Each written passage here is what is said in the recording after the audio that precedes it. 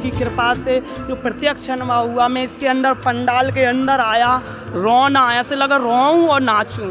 ऐसा मतलब एक सुरक्षा चक्र है यहाँ पे भक्ति का, कि देख के और सबका पावर भक्तों का और सेवा देख के तुम सब भक्तों में निम्र, नम्रता और सुंदर भाव उनको शांत प्रेम से, चाहे हम कुछ भी कर रहे हैं, गलत भी बोल रहा है, तुम्हें गाली भी दे रहा है, तब भी तुम लोग हाथ जोड़ के बोल रहा है। और नम्रता तो महाराज जी की कृपा के बिना हम लोग ऐसे नहीं हो सकते।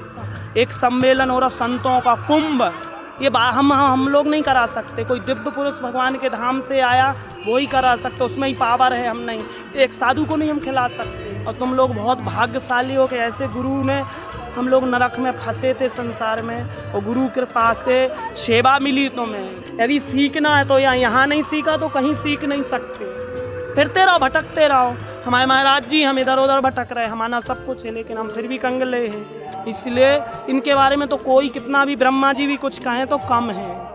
हम तो कुछ हैं, तुच्छ हैं, लेकिन हमारा जो अनुभव है, इतनी परिसर में आते यदि हमारे अंदर भक्ति है तो दिल ऐसे कर रहा, रोऊं, नाचूं, लोटूं यहाँ पे।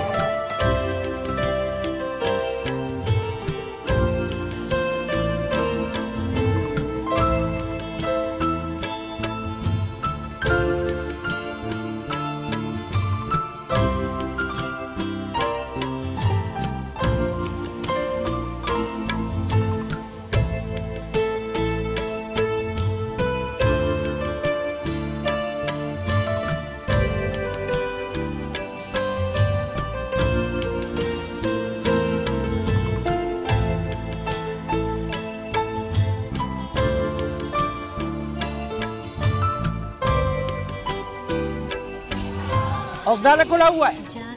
दो से ढाई से रोज मरीजों की सेवा जिसमें मोहम्मद हर जाति का व्यक्ति आता है, निस्वार्थ भाव से समाज की सेवा कर रहे। बहुत बहुत धन्य है कृपालू जी जैसा संत, अद्वितीय संत है। हमारे भारतवर्ष में कोई ऐसा संत नहीं।